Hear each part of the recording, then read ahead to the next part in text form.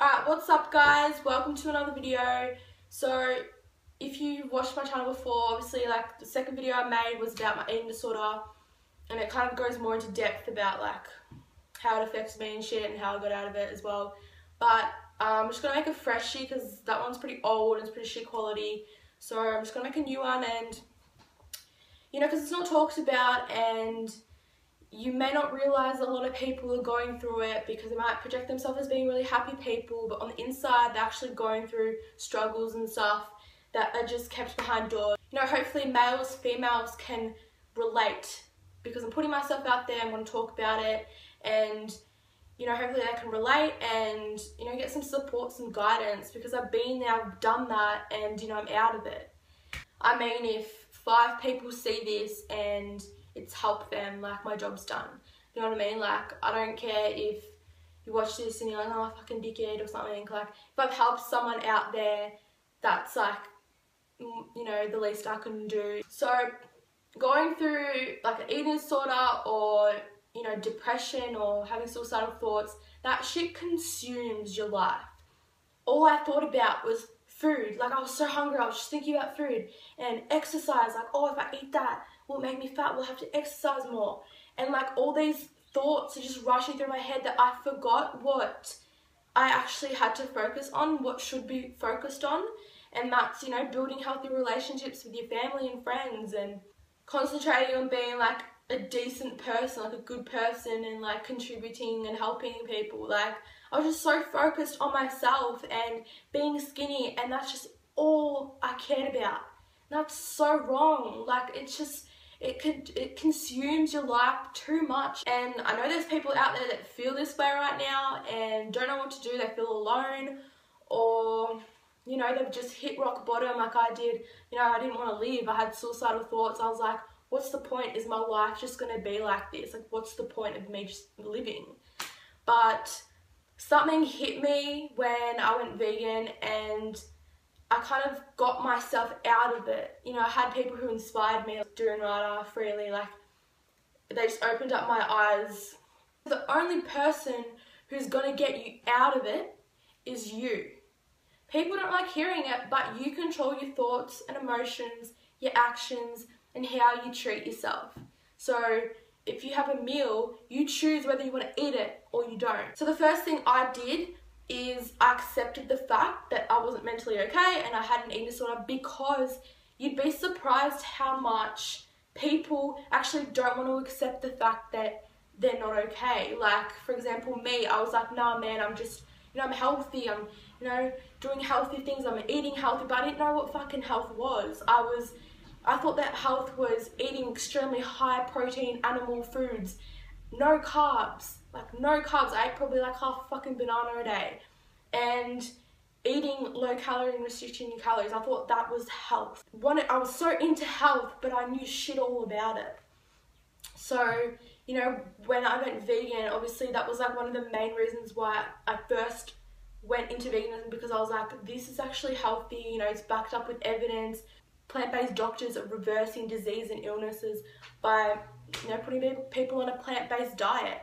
And, you know, I saw people like Freelee and all these people are smashing the food and they're lean. and They've been doing this for like 10 years now. And I was like, holy fuck, alright. So what I'm doing obviously isn't right and it's not long term and I'm not okay. My life's not okay. I've hit rock bottom. It's time to accept the fact that I need to get better and the only person that's gonna do that is me. You can help someone all you want. You can put all your time, all your energy into them to try and make them better. But if unless they don't want to get better, it's it's probably never going to work. So, you know, you have to want to get better in order for it to actually work. And that's another thing. Then you have to want to get better because you'd be surprised as well. People usually don't want to get better. They're afraid of what would happen if they'll lose friends, if their appearance will change. Like people fear change a lot of the time and they're, they're too lazy to, you know, start doing different things and like getting up and actually doing something and taking, um, taking action onto things and, you know, changing themselves. So that's another thing, you have to want to get better. Next thing that really worked for me is getting outside of my comfort zone. So I was really addicted to exercise. So I stopped exercising. That was really hard for me, like mentally, because I was like, oh no, if I don't exercise, you know, I'll gain weight, blah, blah, blah, blah, blah, all this shit.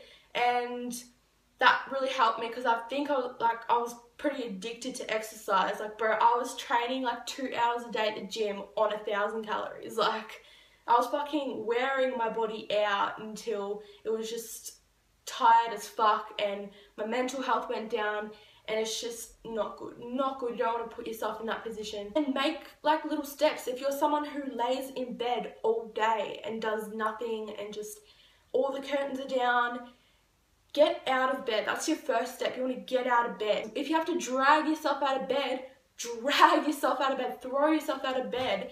Open the door. Go outside. Go for a walk. Breathe in some fresh air some deep breaths go outside and move your body and you know get your body moving so your brain releases endorphins. It's a feel good hormone. And it works better than any drug any caffeine because it's naturally occurring and it's not under the influence of drugs. Get off the caffeine get off the drugs. Not good. And then you want to start eating real food. By real food, I mean food that comes from the earth, not processed junk, not animal products. That isn't food okay, that's not real food and it doesn't fuel your mind, it doesn't fuel your cells, your body, your brain, and that's what you want. You want to be eating high nutrient, high carbohydrate foods so that you actually have energy and your mind is filled with glucose.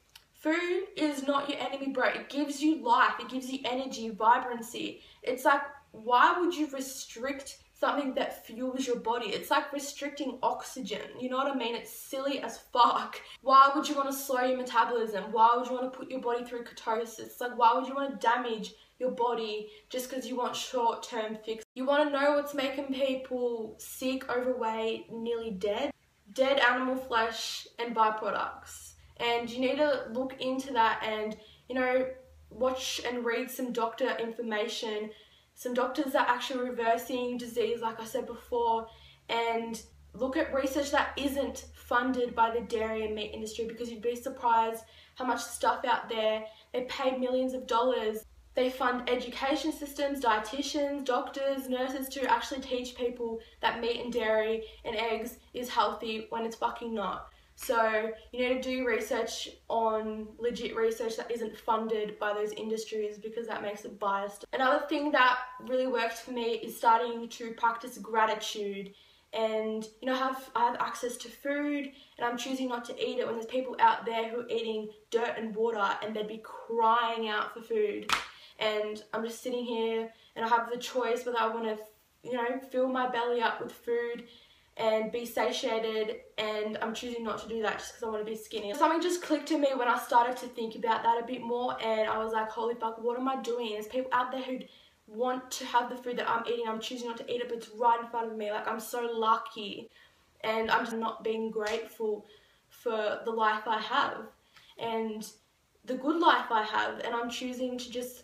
ruin my health and deprive myself for them, food is their savior, it fills their stomachs, it keeps them alive, and that's how they view food. How I view food was you should restrict it, you should vomit it up because I want to be skinny, and that's how I view food. So by going vegan, that's how I started to appreciate food more because um, I knew where it came from. I wasn't supporting sick industries my food was coming from the ground and somehow it just made me appreciate it more and I felt really lucky to be able to fill my stomach up and you know, I was eating like 4,000 calories when I started eating again because my mind was so deficient. It was so undercarbed and I was smashing in so much food. And you know what happened? I had so much energy. I was finally like conscious and like I don't know how to explain it, but I just had this vibrancy in me where I wanted to get up, I wanted to do things. I wasn't just like sad, crying about how I'm not skinny, weighing myself every morning, purging up food, taking photos constantly, being obsessed about my appearance. Like, life just started to feel so much better when I was feeding my brain, my mind with glucose, and I was actually fueling my body. And you know what, I, I gained weight, but that was necessary. It's like when you abuse your metabolism in your body so much, like this went on for about two years total, that's a long time that your body has been damaged for. And you know, you're gonna gain the weight back and maybe a little bit extra because that's just your body recovering from what you've done to it. It's like karma. Five biggest things that have helped me. Um, accepting the fact that I'm not okay, wanting to get better, actually wanting it, getting outside of your comfort zone, doing things you wouldn't normally do, eating larger meals of plant foods, you know, maybe not exercising, having a break from that, whatever it may be that will get you outside of your comfort zone. Eating whole plant foods, high carb, high carb foods that will give you energy.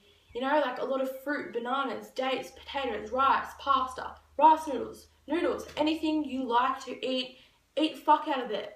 And then last thing, being grateful and actually remembering what food is and how it's not going to make you fat, actually concentrating on things that matter. Because at the end of the day, that shouldn't be a main focus what you look like. And that's what people focus on, right? But let's change that. Let's change the way we think. Let's change the way we eat. And life will be so much better, not only for us mentally, but, you know, animals and the planet and everyone will just be fucking happy. So go vegan. By the way, I was not getting supported at all throughout this whole thing of my weight gain and everything you know, my family was like, what the fuck, you gaining all this weight? Like, they loved the fact that I was thin and slim and looked good when I was gaining it. You know, they're like, what the fuck, what the fuck? So I was bombarded with fucking hate every single day, but I knew at my heart that I wanted to get better. I knew that I wasn't okay, and I didn't give a fuck if people thought differently. Like, just do you and help yourself because no one's gonna do it. Remember, you control your thoughts and emotions, your actions, what you put into your body. It's not like easy too. It's like, you know, you're getting outside of your comfort zone, you're doing things that you usually wouldn't do, and things are changing in your body. And it's like, of course, it's not going to be easy. It's not like it's going to get better overnight, or your relationship with food is going to get better overnight. Like, that takes time for me. For me, it didn't actually take long.